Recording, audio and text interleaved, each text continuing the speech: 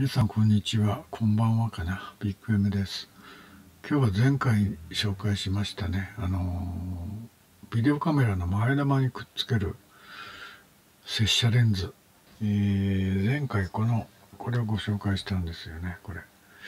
これ実はですねこのこの薄いやつとこのちょっとサイズが違うでしょう。この厚いやつ。これがセットなんですよ。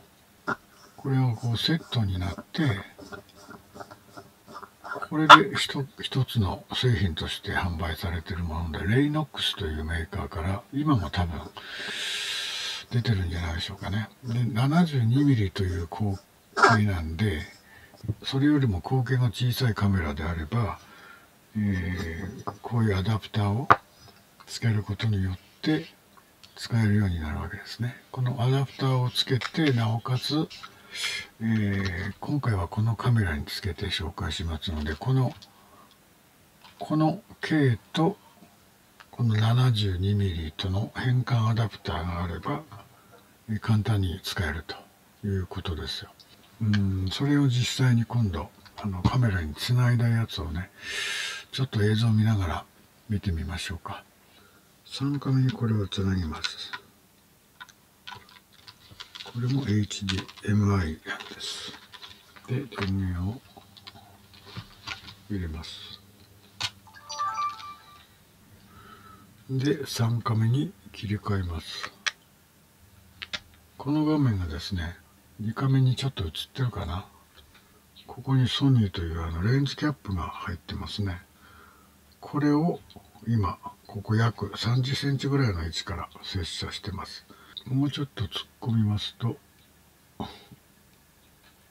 こんな感じ。文字が1個分ぐらいですかね。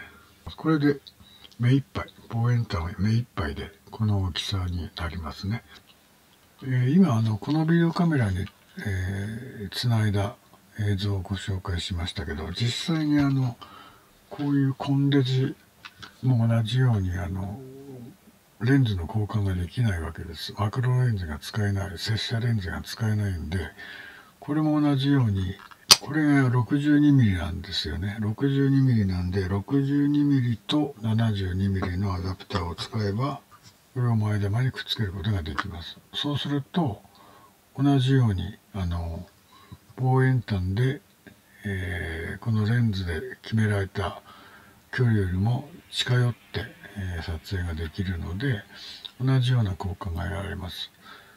前玉につけるマクロレンズの弱いところはですね合掌する範囲要するに焦点の合う範囲がここからここまでっていうふうにこう決め決まっちゃうんですよ。でその範囲を超えて昆虫が移動してしまうとカメラごとこう移動しなくちゃないんですよ。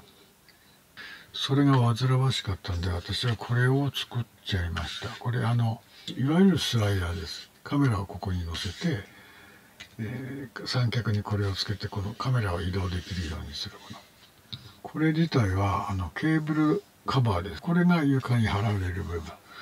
でこっちが、えー、上のケーブルを入れてからから蓋をする蓋です。昆虫はですねしょっちゅう移動するんですよね。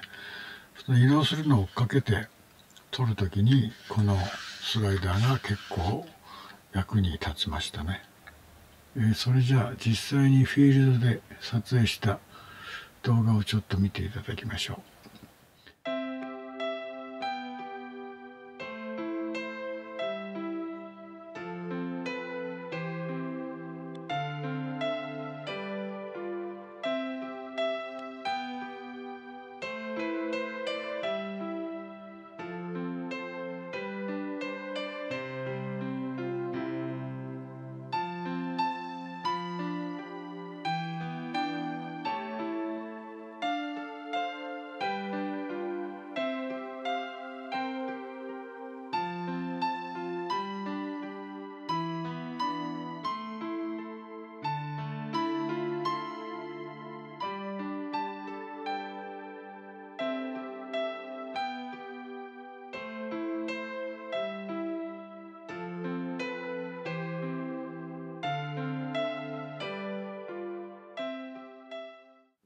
今日はビデオカメラの前玉にくっつける、えー、接写レンズのお話でした、えー、ご視聴ありがとうございました。ではまた。